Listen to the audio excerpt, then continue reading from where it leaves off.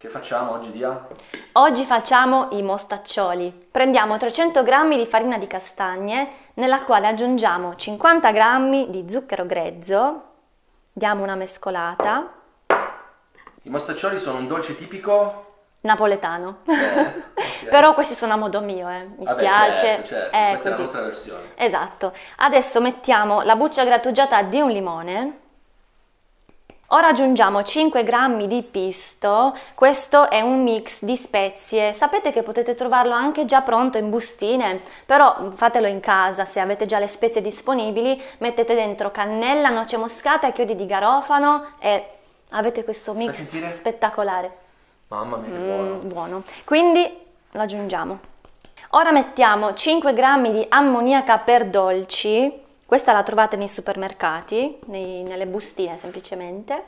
Ragazzi, l'ammoniaca per dolci non va confusa con quella per le pulizie, eh, mi raccomando. Sono due cose completamente diverse e in questo caso l'ammoniaca per dolci ci serve per rendere i biscotti più friabili, semplicemente. Quindi mescoliamo il tutto.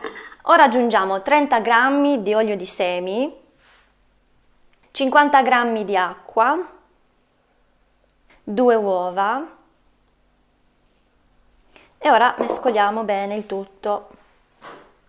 Beh dai, fino adesso è semplicissimo, tutto in una Sì, ciotola. potete farla tutti questa ricetta, te compreso. Eh, vabbè. Scherzo, tu Beh, sei, più, tu sei molto bravo in cucina, molto, bra- molto bravo. E ora impastiamo a mano. Bravissimo, eh sì, perché a un certo punto il cucchiaio non ci serve più, quindi impastiamo a mano e poi spostiamo sul tavolo, così impastiamo bene il tutto e otteniamo un bel panetto omogeneo. Ora impastiamo il tutto, se vedete che l'impasto è leggermente asciutto, aggiungete ancora 2-3 cucchiai d'acqua e continuate a impastare. Fine, gli diamo un'ultima impastata con le mani bagnate. Guardate che bel impasto che sta venendo, ragazzi. Sì, deve essere molto friabile, eh, molto, molto appiccicoso. Bene, una volta pronto il nostro panetto, prendiamo un foglio di carta da forno, spolveriamo con della farina, cerchiamo di schiacciare un po' il panetto e di creare un rettangolo. Poi spolveriamo ancora sopra con un po' di farina e appoggiamo un altro foglio sopra. E adesso dobbiamo stenderlo. Prendiamo il nostro matterello Allora, il nostro pseudo rettangolo è, è pronto. Questo è lo spessore che dovete ottenere, circa mezzo centimetro. E adesso andiamo un po' a definirlo, ok? Quindi tagliamo un po' i bordi mm, irregolari e poi dopo ovviamente reimpastiamo ciò che stiamo, stiamo tagliando via. Non, Non but- buttiamo nulla, ragazzi. No, adesso dobbiamo dividere il nostro impasto in strisce diagonali, ok? Quindi io come vedi mi sono già fatta dei segni prima di tagliare, così ho preso le misure uguali, ok? Dobbiamo dividerlo, dividerlo in fasce, quindi andiamo subito con la prima. Questa anche la reimpasteremo, quindi nessun problema. Ma per esempio, se abbiamo le formine Si possono usare? si possono usare, Assolutamente, sì, se avete dei rombi come formine potete usare quelle. Io non ce l'ho e quindi faccio così e vengono benissimo ugualmente. E adesso facciamo le diagonali al contrario, così otteniamo dei rombi. Io mi sono già presa i segni, adesso ci ripasso sopra un attimo prima di tagliare e adesso taglio. E ci siamo. Adesso li mettiamo sulla teglia. Ma che belli, ragazzi. Sì, oddio, non sono super perfetti, Eh, però almeno avranno quell'aspetto casalingo artigianale, diciamo. no? Vabbè, sono belli, dai. sono Sì, no, bene. guarda, questo in realtà è abbastanza preciso, ok? Questo è, è il, il mostacciolo. Questo è il rombo per eccellenza, no scherzo. Ora possiamo infornarli nel forno statico preriscaldato a 180 gradi per circa 10 o 12 minuti. Comunque ragazzi, mentre i biscotti cuociono, ve lo devo dire, mi dispiace ma lo devo dire.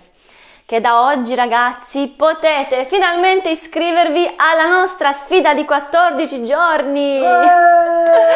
No, vi sembrava un po' triste, in realtà noi siamo felicissimi di aver dato vita a questo progetto che è un progetto che non abbiamo mai fatto io e Alessio, ma ci abbiamo lavorato durante tutti questi mesi ed è dedicato a tutti voi che seguite un'alimentazione senza glutine e senza latticini e anche ovviamente secondo la dieta del gruppo sanguigno. Ma che cos'è la sfida di 14 giorni? Noi vi lasciamo il link qui sotto nei commenti dove potete leggere tutti i dettagli. Vi dico solo che all'interno troverete video lezioni sulla cucina senza glutine e senza latticini, 30 ricette senza glutine e ovviamente senza latticini e anche senza uova. Quindi abbiamo voluto pensarci anche per voi che siete intolleranti alle uova o siete vegani o vegetariani, quindi è perfetta anche per voi. Inoltre quest'anno ci sono dei bonus spaziali, tra cui un menù settimanale dal lunedì alla domenica, l'ebook di ricette natalizie, cioè ragazzi proprio il top quest'anno. Ci abbiamo messo veramente noi stessi, eh, cioè ci siamo impegnati un sacco per questo progetto.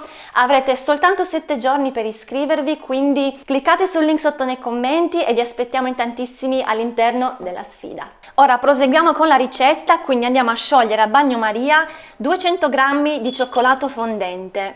Ci siamo quasi, Ora abbiamo sfornato i biscotti, li abbiamo fatti raffreddare e li ho messi su una gratella col piatto sotto e adesso andiamo a, indovinate un po', ricoprirli con il cioccolato.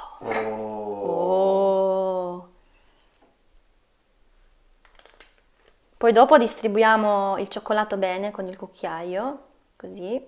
E ora dobbiamo semplicemente far indurire il cioccolato, quindi possiamo metterli in frigo, eh, insomma per una mezz'oretta, fino a quando il cioccolato sarà completamente mm, denso.